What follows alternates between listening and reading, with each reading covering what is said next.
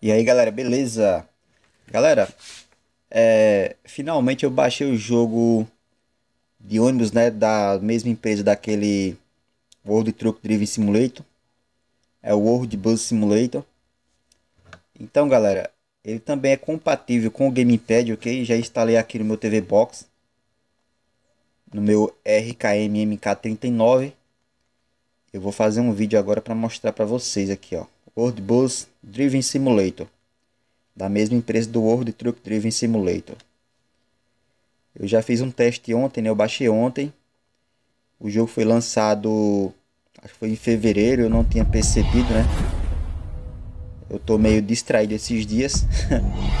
Porque eu tava fazendo outras coisas, galera. Eu tava tava montando lá aquele site lá para deixar os jogos aí pra galera baixar, né? Eu já mostrei aqui no canal. Quem quiser aí baixar jogo de PlayStation 1, PlayStation 2 dublado em português, alguns jogos em PKG, jogos retrô em PKG para PS3, ROM Super Nintendo em português, jogos de Nintendinho ou Mega Drive, o link vai estar na descrição, ok galera? Então vamos lá, o, o, o jogo é compatível com o Gamepad, mas ainda tenho que usar o mouse. Eu estou usando o controle do PlayStation 3 que tem a emulação de mouse, ok? Então eu vou aqui, né? Já comprei o meu ônibus aqui, ó, em garagem, já tem um ônibus. Tem que comprar um meio feinho, né? Sempre começa assim. E agora eu vou aqui em dirigir. E é propaganda, né? O jogo é grátis, mas é isso que mantém o jogo, né, do desenvolvedor. Galera, é uma pena o os desenvolvedores deixar o controle tão limitado, igual o, o jogo World Truck Driven Simulator. Por exemplo, só tem o básico aqui para você jogar, o básico dos botões. Eu vou desistir dessa viagem, galera, para eu escolher outra, ok? Para vocês verem como é que é. Eu vou colocar uma viagem aqui pequena. E vou explicar sobre os botões. É do mesmo tipo do do, do World Truck Driven Simulator, você configura o analógico, configura o botão, botão de acelerar. Olha, eu vou aqui, ó, dar pause. Ó, olha a configuração que eu estou usando, ok? Aqui o tráfego está no máximo. Estou usando a mesma configuração que eu uso no World Truck Driven Simulator. Qualidade alta. É, deixa eu tirar esse negócio aqui. Aqui, ó sombra ligado, matos e gramas ligado, efeito visual, estou usando esse efeito aqui. Então eu vou lá agora no Gamepad, para quem não, não sabe como é que configura, né? Aqui no controle, eu gosto de marcar esse daqui, ó, do acelerador, para não ficar esse negocinho aqui tão, é, tão visível na tela, né? Afinal, nós não estamos jogando aqui com controle virtual no TV Box, é com Gamepad. Então, você marca aqui joystick e vem aqui em configuração. E aí, ó, acelerar, frear, é, sobe marcha, desce marcha, freio de, de estacionamento eu gosto de colocar no botão R3. É, ligar motor eu coloco no botão X aqui no controle do PlayStation 3. Seria mais ou menos o botão, botão acho que é botão A. Botão A no gamepad normal. É, aqui galera, seta esquerda eu coloco no L1, seta direita R1. E o acelerar e frear, eu coloco para frear no L2 e acelerar no R2. Eu acho mais legal assim. O farol, atenção galera, no farol, no controle do PlayStation 3 ou PlayStation 4, é, os botões direcionais aqui do controle, essas setinhas, né, que a gente quase não usa para nada, é, pode ser configurada nesse jogo. Já o gamepad aqui, meu Ipega, por exemplo, não pode ser configurado, não funciona. Então, o farol eu coloquei no direcional para cima. Limpadores eu coloquei no direcional para baixo. Aí o problema aqui, galera, no ônibus a gente tem que ó, trocar de câmera, eu coloquei no botão select, ele reconhece como pause. Frear motor não coloquei, não não preciso disso. É... Pronto, na... e aqui, galera, ó, volante, você clica aqui auto detect, você clica e move para o lado de, do analógico de você controlar, ok? Aí tem outras coisas aqui mais embaixo.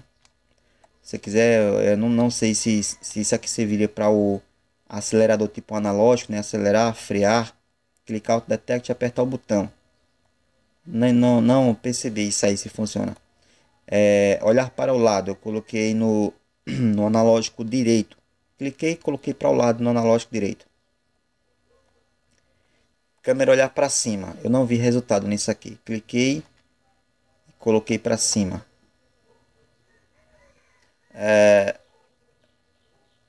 Pronto, tá, isso aqui está configurado já, ok? Isso aqui foi só para mostrar para quem é, não, não sabe como configura. Agora vamos ao jogo, né? Aí no jogo, galera, vocês vê ali que não tem botão para configurar a buzina. Eu sinto falta desse botão desde o do World Truck Driven Simulator também. Lá não tem como configurar. Eu tô até com o botão aqui sobrando, o botão quadrado tá sobrando. O botão direcional esquerda e direita tá sobrando, que até ele ele faz curva com, com o ônibus aqui também, só que eu não não controlo nele, né? Não guio, eu uso o analógico. Então, vamos ligar o ônibus. Tirar o freio aqui de estacionamento, né? Que eu botei no R3.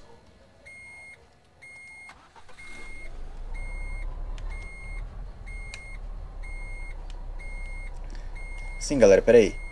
Ó, atenção. É, deixa eu, ó, o botão abre portas, galera, não tem aqui botão abre portas, ó. Eu vou ter que usar com o mouse aqui, ó. Aí eu sinto falta desse botão e eles não fazem isso, ó. Bom, todos os passageiros já estão dentro, não. Estão chegando mais. Os passageiros atravessam a porta, a porta não abre totalmente, né? Precisam corrigir isso aí, que fica bem estranho. Dependendo do local que você tiver, os passageiros é, atravessam tipo a frente do ônibus e entra. Falta o botão de abrir portas. Vamos lá.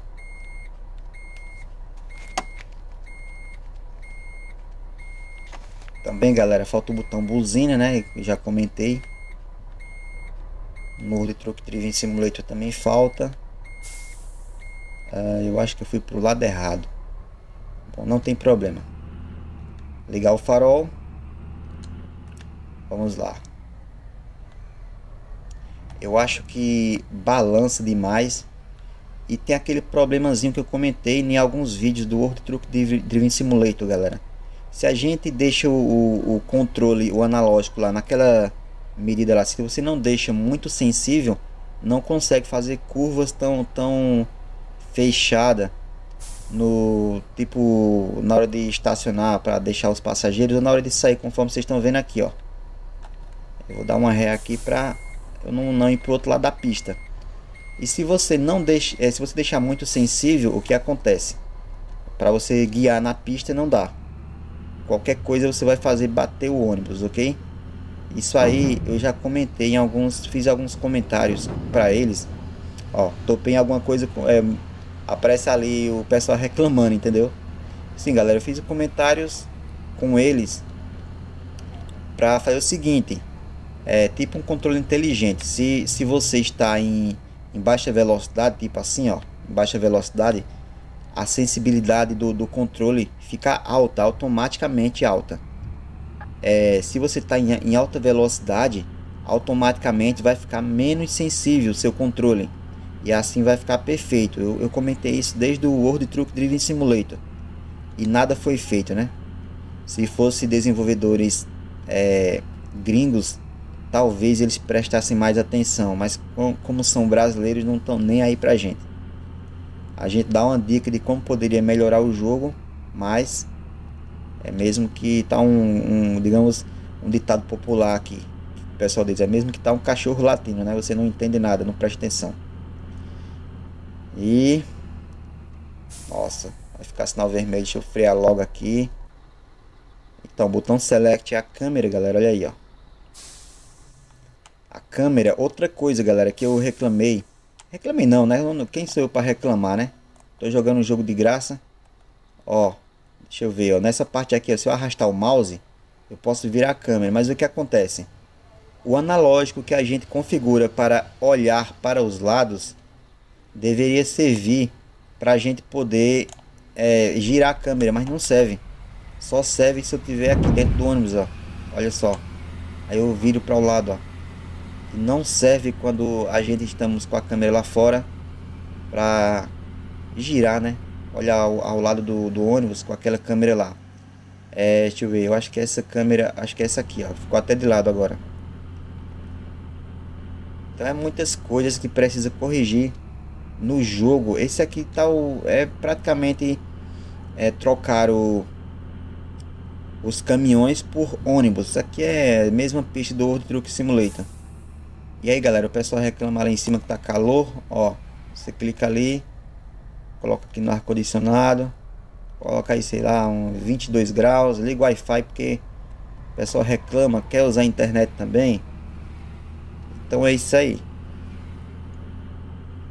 O jogo é muito bom, mas precisa sim de algumas melhorias.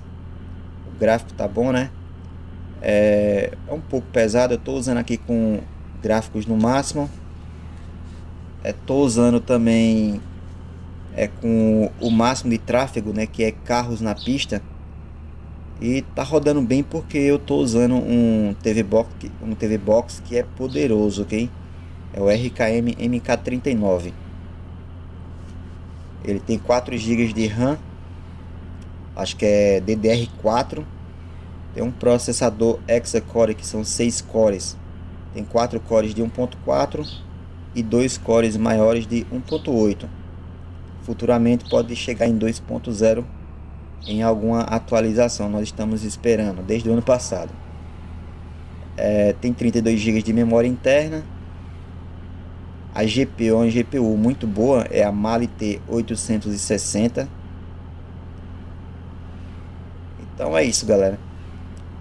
É, eu estou usando também o kernel Adiltor é, eu mostrei em um vídeo anterior como configurar, porque sem ele o kernel próprio do, do TV Box não não tá, digamos, administrando bem aqui o, o processador. É o que acontece, fica dando algumas travadinhas no jogo.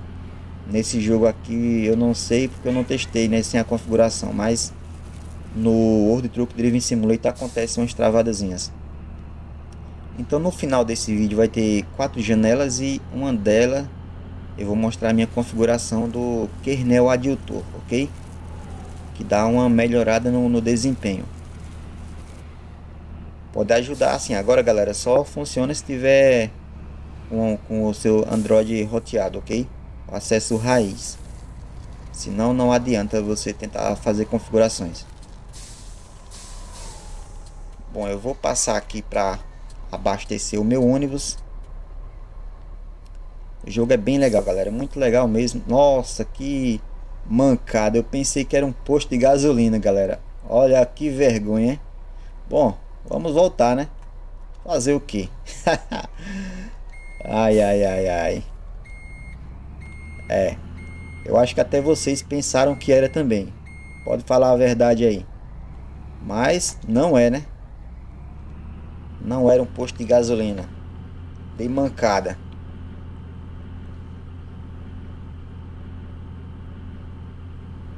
Bom, galera, o vídeo já tá ficando bem longo. Agora que eu vi a lei que já vai em 3 minutos. Então, galera, eu vou finalizar o vídeo, ok? Nossa, deixa eu ver aqui, né? Ixi, a gente vira pra cá e, e, e buga aqui. Fica meio bugado ali, não dá pra ver direito. E o tráfego tá intenso. Topei em alguma coisa ali, o pessoal reclama. Então é isso aí, eu vou entrar na pista assim mesmo.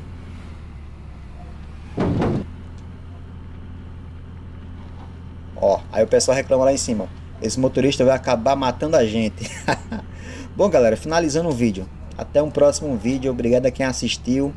E valeu. Baixe o jogo aí que é da hora. Se puder comentar na Play Store sobre os problemas é para quem estiver usando o gamepad, né? Botão buzina não tem para a gente configurar. Botão para abrir, abrir, abrir, portas não tem, vai ter que usar o mouse para clicar ali na tela. É isso é bem chato. E o analógico, galera, que deveria ter esse modo automático, né? Baixa velocidade, ficar bem sensível, com alta sensibilidade para estacionar esse tipo de coisa e alta velocidade ficar menos sensível para a gente não ficar tombando o caminhão, né? Porque ó, Olha, esse caminhão não, acostumado com o outro truque de, World Truck Simulator eu disse caminhão, mas é ônibus no caso agora, né?